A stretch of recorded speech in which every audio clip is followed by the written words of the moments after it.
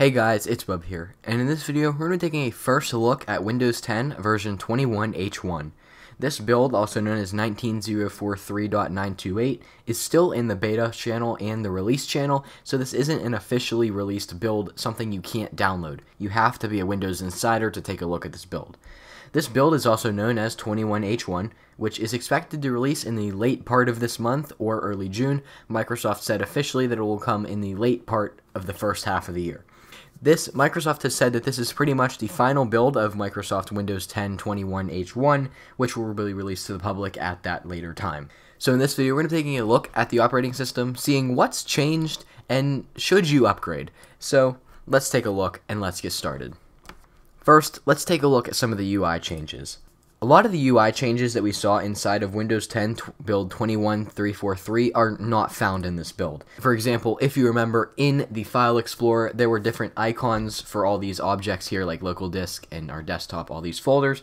Those icons are not seen in this build of Windows 10, so many of those UI changes really didn't make it. So overall, if we just take a general look around the operating system and the user interface, there are no noticeable changes everything looks exactly the same as it did in 20H2. So this is a not really significant upgrade for those who are looking for UI changes because we're simply not going to find that in this specific build.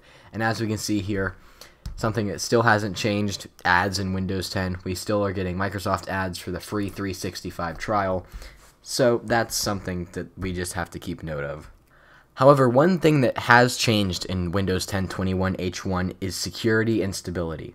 As for stability, everything just seems faster and more snappier, but everything seems more responsive compared to my 20H2 version that I'm running on my main PC. And overall, everything just seems snappier, is more responsive, and yeah, everything, it's just responsive. As for the security part, Microsoft has listed these three things. Windows Defender Application Guard has had performance improvements, for example, optimizing document opening scenario times. So Windows Security has basically gotten a performance improvement, so we are excited to see that as Windows 10 gets more and more secure and we and we get to move away from those paid antiviruses and just using the Windows built-in antivirus. Microsoft calls that performance improvement a security related performance improvement, so it's a performance improvement for security, obviously. Microsoft has said that there have been security changes to the Windows App Platform and Framework, as well as Windows apps, the Windows kernel virtualization, Internet Explorer, and Windows Media. So we're excited to see all of these security changes inside of Windows 10, which really makes our operating system more secure and more enjoyable. So we are looking forward to that coming in 21H1. So, as for new features, we can take a look at this on the Windows blog where they introduced 21H1. Microsoft has said that 21H1 will have a scoped set of features that improve security, remote access, and quality. This is simply because as the world has moved to more remote learning and more remote work, there needs to be more ways for IT admins to manage their computers and for people who are working at home to remote into computers that may still be at their office. So they're improving more remote access and security to keep these devices safe because we've moved a lot of stuff to technology. To me, this just seems worded really weird, so I'm going to read it exactly how it says.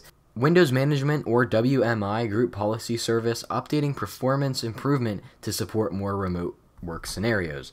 So I know that sounds really weird, but that's how it's written. So obviously they've upgraded they've updated a group policy service that allows remote work scenarios to occur more seamlessly, more efficiently, and more things like that.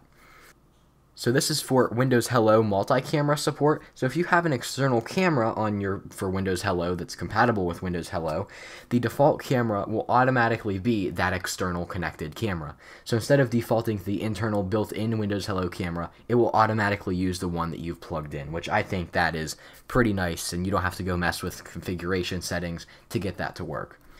But yeah, overall, this update is relatively a boring one. There aren't really many new features, as it focuses primarily on stability and security, which isn't necessarily a bad thing. That's actually considerably a really good thing, because security and stability is what Windows 10 really needs right now. However, this build of Windows 10 really paves the road for 21H2, which is expected to be the Windows 10 Sun Valley redesign. Right now, they can focus on security and stability and getting Windows to that point, and then later this year, they can focus on the redesign and things like we saw in Windows 10 21 343. So, like I said, this build is very fast and very stable, and I can't wait to update to this edition of Windows 10 on my PC.